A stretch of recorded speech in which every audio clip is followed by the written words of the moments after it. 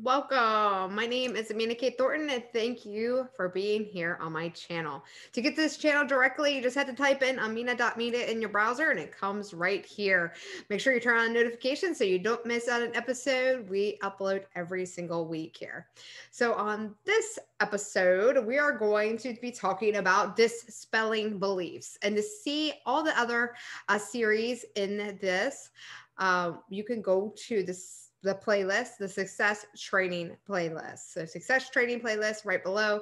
Go ahead and bookmark that. Dispelling beliefs. How do we dispel or how do we embrace new beliefs, right? So, you can look at it two ways.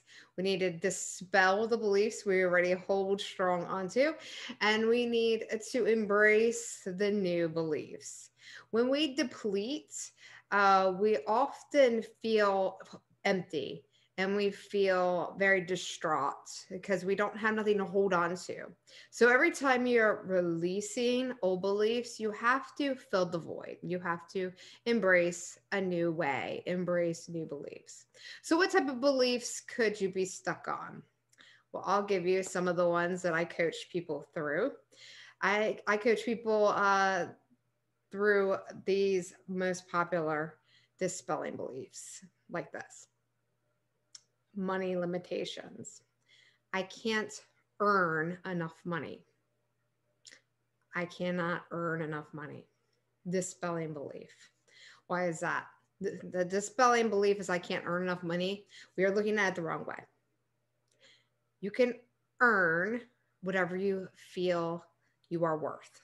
So if you feel you're only worth your wage that somebody pays you, then that's where you're to be stuck. That's where your limited beliefs come in. And we need to dispel that. There's many ways you can earn more money. You could sell things, you could take another position, you can get a higher education, you can start your own business. There's a lot of different ways. So, to release that dispelling belief on the limitation is that you're not worth enough, is you need to really discover you and what you are worth. So, you have to sell yourself in believing you're worth more, which you totally are. Remember, money is a byproduct of your skills that are brought to the marketplace. So, you just need to figure out what your skills are and like anybody, you have a unique path that you've gotten you this far in your life. So, what does that unique path look like? Take a notepad, write down what all the obstacles that you've been through in your life, and how can you teach others about those obstacles, and how can you provide resources and services that is marketable. So, you are totally worth more. And you can use your knowledge to prove that to yourself and to get rid of that dispelling belief. You can get a mentor. I do mentoring, I do coaching, but you could get a mentor that's going to really just push you through. They're going to give you tools and knowledge that you didn't really discover in yourself until this mentor came into your life and showed you. But it is your job to get rid of that dispelling belief first. When you do that, anything is possible. So, what else is a dispelling belief? A dispelling belief is I cannot lose weight. I'm too old. I'm too old to lose weight. I don't know. I can't give up my snacks. Another huge dispelling belief. So when we look at the bigger picture and we say, well, what is really holding me back? Why am I holding on to this mindset of saying I'm too old? I, you know, I've, I've had back injury. Um, I have this issue where if I run too long, my leg locks up. Those are limitations, those are excuses. It hurts to work out. But guess what hurts more? Not working out.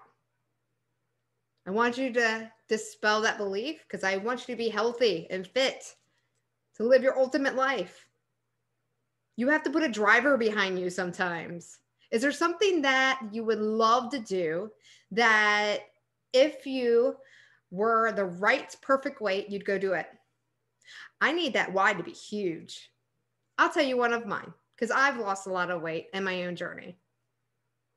And in fact, I'm wearing my supplement company t shirt, and I just realized that. So I'll provide this link too. Exotic ketones, amazing. You can read all about it. You can watch a little video, it'll be in the description. So, my own weight loss journey, I had a dispelling belief too, a belief that I had to get rid of. I gained so much weight when I had my kids. I thought I was eating right. I was eating organic. I was eating all the right vitamins.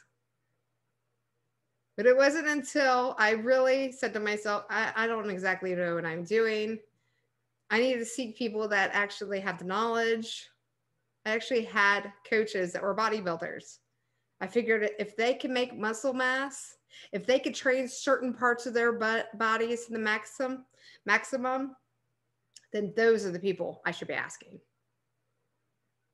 And so I started asking questions. I let go of my ego. I let go of my beliefs that I knew exactly what I was doing, eating the right food, you know, eating at the right times, eating the right nutrition, and really just started taking advice of the people that I wanted to look like. So I was overweight.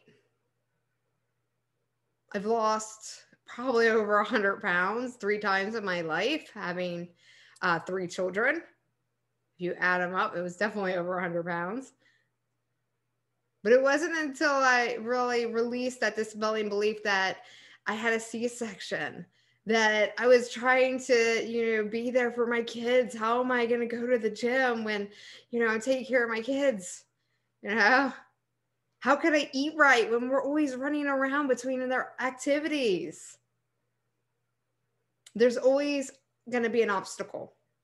There's always going to be a limiting belief that's holding you back. So we must dispel this belief to get to your ultimate goals, your ultimate life. So make sure your driver is powerful. You need a powerful driver. And mine was I wanted to be healthy and fit for my kids. I wanted to be able to run around with them and go to the the parks and swing on the swings and go uh, mountain biking, go hiking, go swimming with them. And I knew that my weight was holding me back. It was keeping me in this position where I was tired where I didn't have the physical strength or endurance to keep up with them. So that was my powerful why. So sometimes you have to have a powerful why just to get past that limiting belief. So another limiting belief that I get a lot is that I'm not educated enough. I don't have the right connections. So it must be one of the two, right? I can't get there because I don't have the education or I don't have the connections. Totally untrue. You don't need connections to be successful. You don't need the right people in your life at a certain time to get where you want. That is a limiting belief, and we must dispel that. Because when you start educating yourself, when you start looking for resources, you'll be aligned to the same people that are looking for the same. There's many people that will help you on your path. And before you know it, you'll have the right connections because they'll see you're serious. You're going after it every day. Serious people don't take non serious people seriously. That was a mouthful. what I mean by that. For example, say you run a business and your employee said he wants to be the the best employee you have in the company. He wants to make the most, most money and he's going to do that within 6 months or less. Well, first week was amazing. Showed up on time, went above and beyond performance, wanted to learn everything. Then the next week came.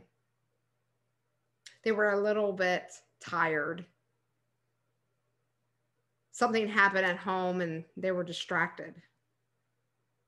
Their performance severely suffered. What does that make you feel? Does that make you feel like he's going to turn around or she's going to turn around and everything's going to be great again? Or does that make you feel like, well, maybe they weren't really serious about it? You know, maybe it was just something they were saying they weren't really wanted, but they are not following through now. They're falling off.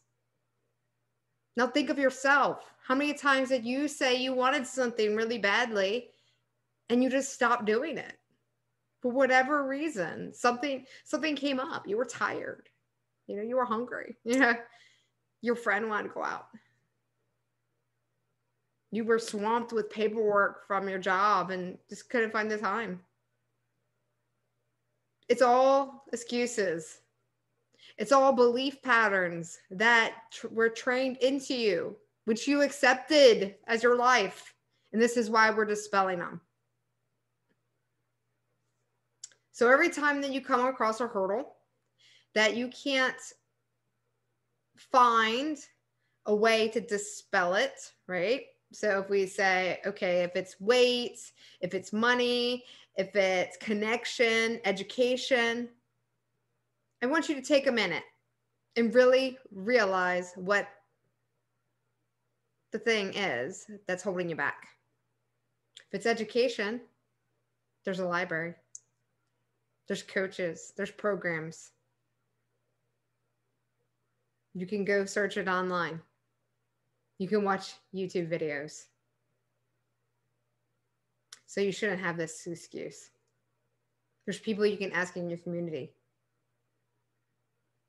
Now you have to make sure that you are asking the right people. Don't ask the wrong people. Make sure you know who you're asking. Because everybody has an opinion. And not everyone is where you want to be. So make sure you're getting your education from people that have the knowledge because you see that they have what you want.